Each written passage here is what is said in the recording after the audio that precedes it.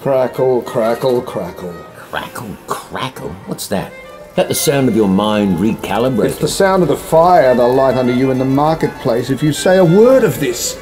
But I've got proof. A fact isn't an idea. I have proof. They can't barbecue you in the piazza for facts.